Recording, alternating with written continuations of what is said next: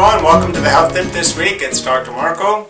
And uh, this week is just a general um, tip idea. So there's a couple people I know that um, have jobs where they actually have to stand all the time. They don't have uh, chairs at their job. They might be uh, like on an assembly line or just a job that they actually have to be on their feet all day and they really not, uh, they don't have the ability to sit down really that much. But there's some little tricks you might be able to try to pull off to see if you can kind of relieve some of the tension or just kind of take some of the load off the back in certain ways. So here's a couple of ideas that um, just kind of came to mind.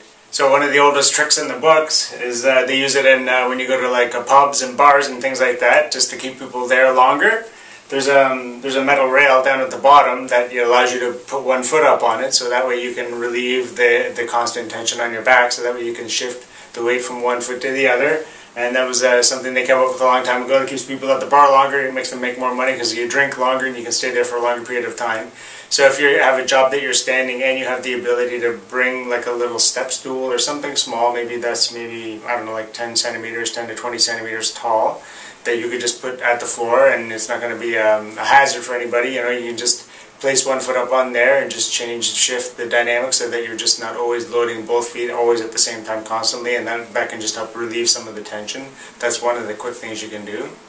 Some of the other things you can do, there's, um, there's an exercise I've explained other times called foundation training where you go through this whole procedure of activating what we call a posterior chain.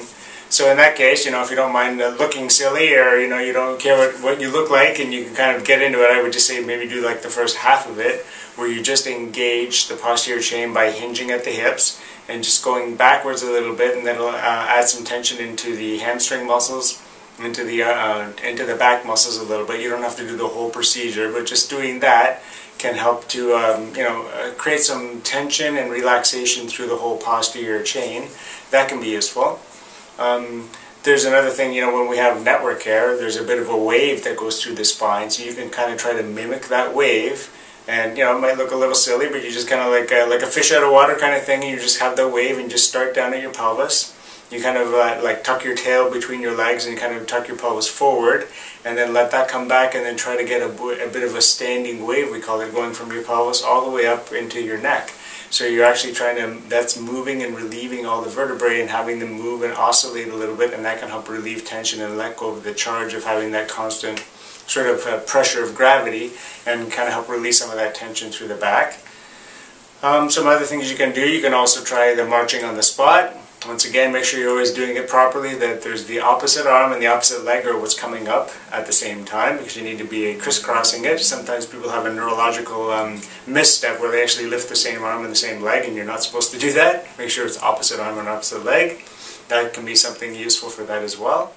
So those are just some quick little ideas, or uh, if you have one of those standing jobs, you need to relieve some of the strain on your back, try some of those things. And that's your health tip for this week.